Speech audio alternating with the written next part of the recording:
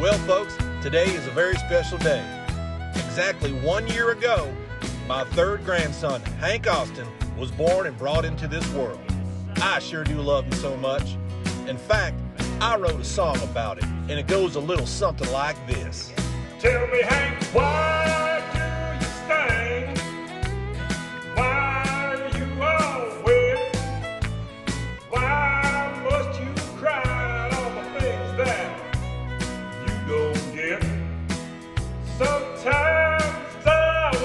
wonders, mothers intuition, changing diapers and wet wipers. It's a baby tradition.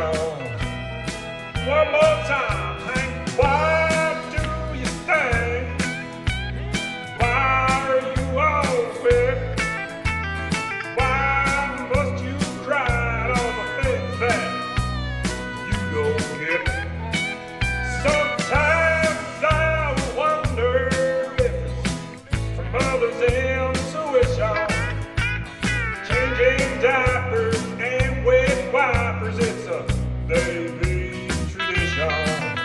Changing time, with.